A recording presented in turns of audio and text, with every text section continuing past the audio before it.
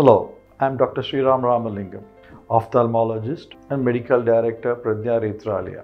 Our hospital is specialized in cataract, glaucoma, and squint services. Our human eye has got a lens. This lens helps in focusing the rays of light onto the retina. The human lens is made up of a central nucleus and the periphery is called as a cortex. When the lens becomes opaque, we call it as a cataract. When the center part of the lens becomes opaque, we call it as a nuclear cataract. The periphery becomes opaque first, it is called as a cortical cataract. As the cataract progresses, the nuclear cataract starts becoming harder and darker in color. Nuclear cataracts are graded from grade 1 to 4. Grade 4 being the hardest and it is usually dark in color.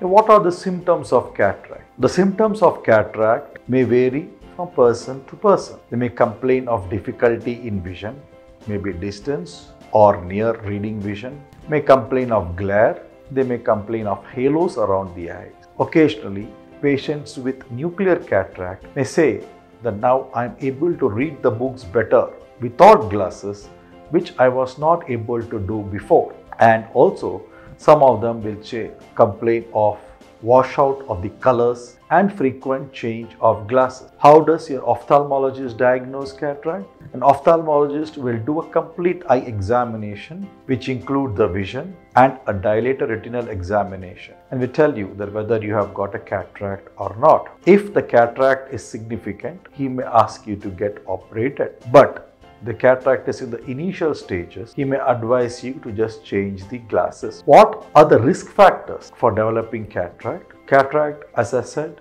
is an aging process. Just like the hair on your head turns white, the lens inside the eye also turns white with age. The other factors that can accelerate the process of cataract are diabetes mellitus, smoking, use of steroid. What is the best modality of treatment of cataract, cataract can be safely removed by a technique which is called as phaco emulsification.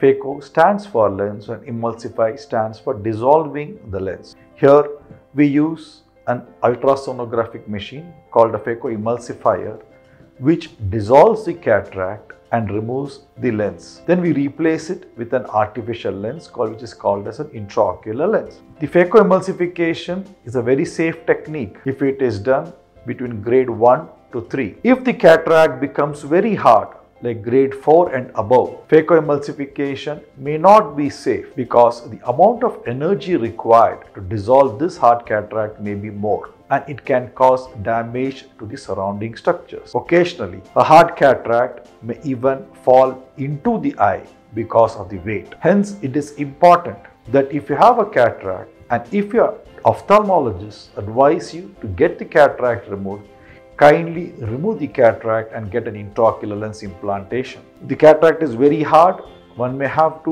resolve to a manual cataract operation where we have to make a larger incision in the eye, manually remove the lens and replace it with an artificial lens. The recovery time in a manual cataract surgery may vary between 4 to 6 weeks as against a phacoemulsification which the recovery time is within less than a week's time. Hence, a hard cataract may not be very safe to remove with a phacoemulsification, but it is better to remove the cataract before it becomes very hard. Many patients say that I am able to see and why should I get the cataract removed? The quality of vision usually decreases and the person is not aware that the cataract has developed. After removing the cataract, they find a vast difference between the quality of vision what they were seeing before and after. Hence, if a cataract has progressed and it is hampering your vision, it is better to remove it before it becomes very hard.